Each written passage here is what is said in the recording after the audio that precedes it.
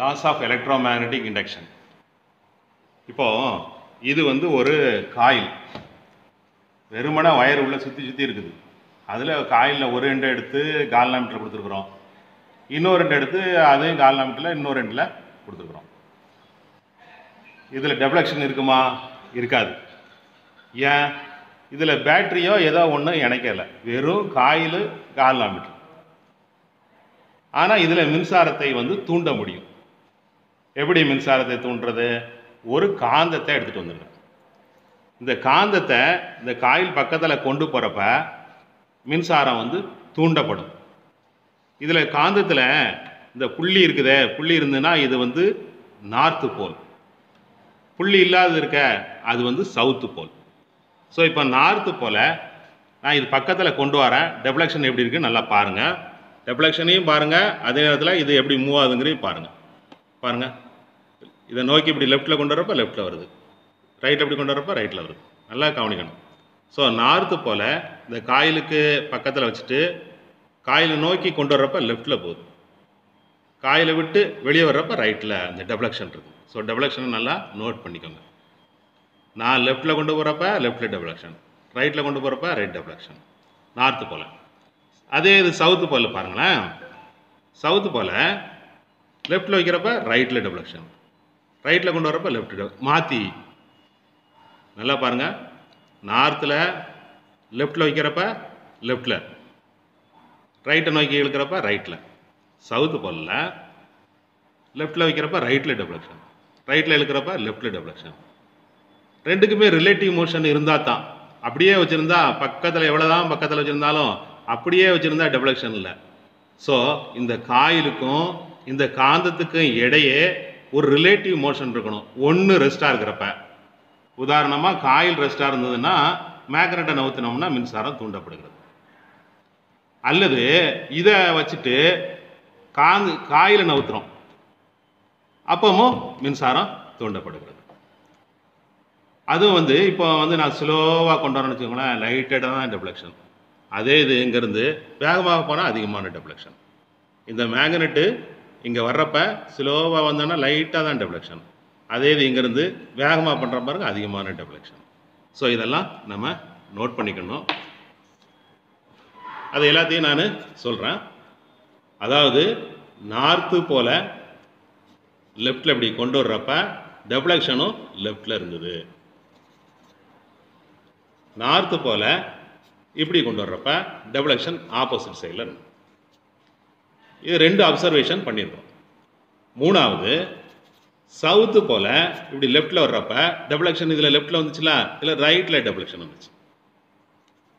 நாலாவது சவுத்து போல் இப்படி கொண்டு வர்றப்ப டெப்ளக்ஷன் வந்து இப்படி வந்துச்சு. ரிலேட்டிவ் மோஷனை பொறுத்து இருந்தது. அதாவது காயில் காயிலோ மேக்னெட்டோ ஏதோ ஒன்றை ரெஸ்ட்டாக வச்சுட்டு இன்னொன்று மூவ் பண்ணுறப்ப இந்த மாதிரி டெவலக்ஷன் இருக்குது.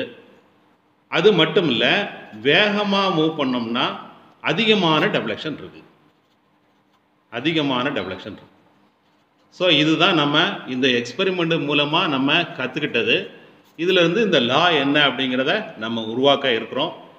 இந்த அப்சர்வேஷன்லாம் உங்களுக்கு முக்கியமானதாக இருக்கிறதுனால நம்ம லேப்லேயே செஞ்சு காமிக்கிறேன். ஓகே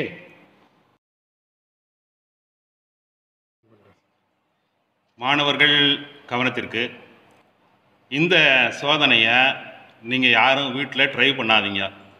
ஏன்னா இதில் ஷாக் அடிக்கிறதுக்கு அதிகமான வாய்ப்பு இருக்குது. ரொம்ப கேர்ஃபுல்லாக செய்யணும்.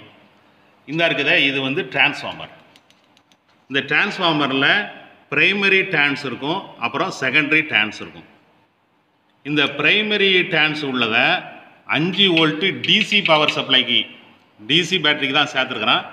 ஸோ அந்த பேட்ரி எலிமினேட்டர்லேருந்து ஒரு கீ. இது வந்து கீ. டேப் கீ இங்கேருந்து எடுத்து பழையபடி அந்த ப்ரைமரி முடியுது. இங்கேருந்து பார்த்தீங்கன்னா அப்படியே ப்ரைமரிக்கு ஒரு எண்டு பிரைமரியுடைய இன்னொரு எண்டு இங்கே வருது. அப்புறம் அந்த கீழேருந்து பேட்டரிக்கு வருது. இது ஒரு சர்க்கியூட் இந்த இருக்கு பாருங்கள் படத்தில். ஃபைவ் வோல்ட்டு அப்புறம் ஒரு கீ அதுக்கப்புறம் வந்து ப்ரைமரி டேனிங் ஸோ இது எல்லாமே சேர்ந்துருக்கு. செகண்ட்ரியில் வந்து மூணு டெர்மினல் இருக்குது இதில் நடுவில் உள்ளதையும் இதை மட்டும் யூஸ் பண்ணுறேன் இது இதுவும் யூஸ் பண்ணுறப்ப டெவலக்ஷன் ரொம்ப ஜாஸ்தி ஆகுது. கால்னாமீட்டர் ரொம்ப போயிடுங்காக இதுக்கு இதுக்கும் இடையில போட்டிருக்கிறேன். நைன் ஜீரோ நைனு உள்ள ஒரு டிரான்ஸ்ஃபார்மரை யூஸ் பண்ணுறேன் நீங்கள் என்ன ஆகுங்கிறதையும் சொல்கிறேன் என்ன ஆபத்து வரும் நீங்கள் செஞ்சு பார்த்தா என்ன ஆபத்து வருங்கிறத நான் சொல்லிடுறேன் முதல்ல. இப்போ இது டூ வோல்ட்டாக இருக்கனால இங்கே வர்றப்ப மிக மிக கம்மியான வோல்ட்டு கிடைக்கும் செகண்டரியில் அதனால் ஆபத்து இல்லாத மாதிரி நான் போட்டுக்கிறேன். இதே இது மாற்றி நீங்கள் போட்டிங்கன்னா நம்பர் ஆஃப் டேன்ஸ் வந்து ஜாஸ்தியாக இருக்கனால இங்கே ஃபைவ் வோல்ட்டு கொடுத்தீங்கன்னா இங்கே ரொம்ப ஜாஸ்தியான வோல்டேஜ் வந்துடும் நூறு வோல்ட்டுக்கிட்ட வந்துடும் அப்போ கையில் பிடிக்கிறப்ப ஷாக் அடிக்கிறதுக்கு வாய்ப்பு இருக்குது. அதனால் மாணவர்கள் வந்து இதை செஞ்சு பார்க்க வேண்டாம். பிரின்சிபல் என்னங்கிறத பார்த்துக்குங்க. இப்போ இந்த கீயை நான் என்ன செய்ய போகிறேங்கிறத உங்களுக்கு விளக்கம் கொடுத்துட்றேன்.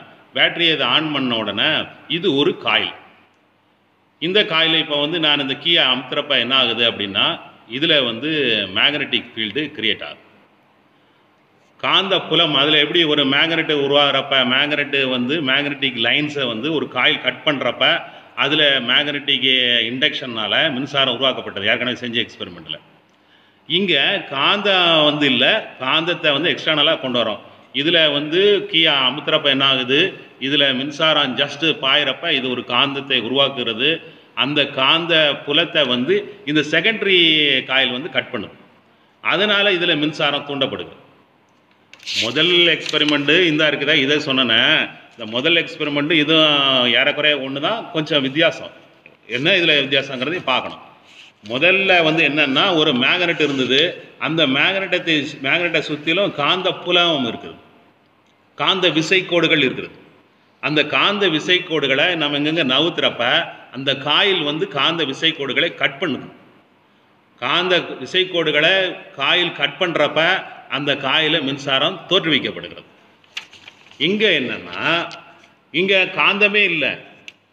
அதுக்கு பதில் என்ன செய்கிறோம் இதில் ஒரு எலிமினேட்டர் போட்டு இதில் ஒரு கீ போடுறோம். கீ போட்டு இங்கே காயில் போடுறோம். இந்த மின்சாரம் வந்து இது வழியாக ஒரு வயர் வழியாக போகிறப்ப அந்த வயரை சுற்றிலும் காந்த புலம் உருவாகும். ஆக இந்த கீ ஆன் பண்ணுறப்ப இதை சுற்றிலும் காந்த புலம் உருவாகும். காந்த புலம் உருவாகிறப்ப ஜஸ்ட் அப்போ தான் உருவாகும்.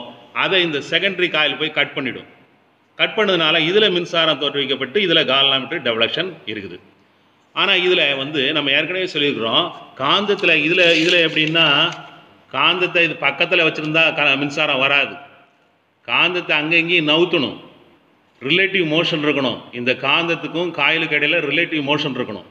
ஒன்று காந்தத்தை வச்சுட்டு இதை நவுத்தணும் அல்லது இதை வச்சுட்டு அதை நவுத்தணும். இந்த காந்த விசைக்கோடுகளை இது வந்து கட் பண்ணணும். இங்கே அதே மாதிரி சும்மா சுவிட்சை ஆன் பண்ணோம்னா வராது. காந்த விசைக்கோடுகள் உருவாகிருக்கும் அதை கட் பண்ணி மட்டும் இருக்கும்.